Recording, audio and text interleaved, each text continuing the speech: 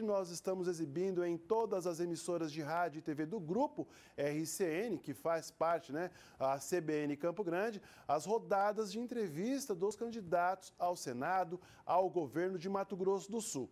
A ordem e as regras dessas entrevistas foram definidas em reunião no último dia 15 com representantes dos partidos. Isso mesmo. Os candidatos de legenda com representatividade na Câmara Federal vão participar ao vivo da entrevista, que terá duração de 40 minutos. Já os candidatos de partidos sem representatividade participarão de uma reportagem de três minutos.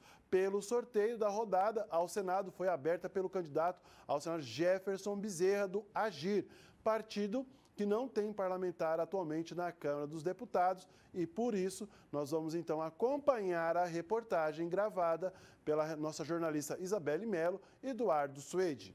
Confira.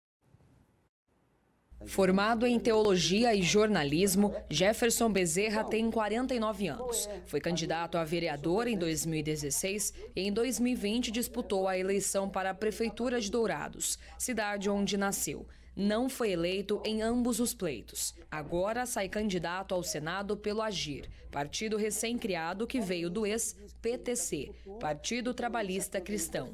A mudança da sigla ocorreu em março deste ano e o partido, que é de centro, tem como slogan É Tempo de Agir.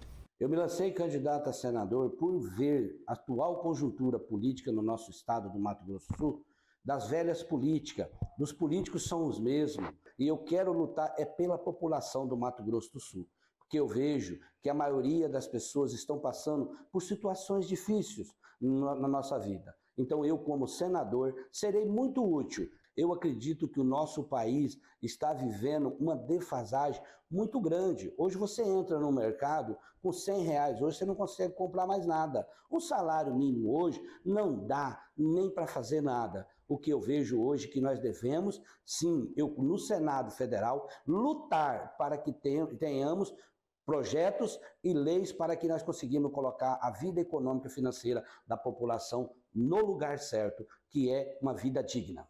Educação é muito importante. Por exemplo, não há jornalista, não há um professor, um advogado, não há um, um, policial sem um professor. A minha proposta da educação não é fazer como os atuais, que colocaram a cavalaria em cima de vocês dentro na Assembleia, que provam leis contra vocês a, a, a bancarrota. Eu quero ser o senador, serei o senador da educação. É uma piada nosso Estado na saúde. Abre hospital, não tem médico, não tem equipamento. Tem pessoas hoje que demoram seis meses a um ano para fazer um exame. E tem pessoas na fila há mais de dois anos para fazer uma cirurgia. Isso não dá mais. Eu, no Senado Federal, quero ser a sua voz e a sua vez no Senado. Eu quero que cada cidadão que ganha um salário mínimo de R$ 1.200 pague uma prestação de uma casa de 120 reais.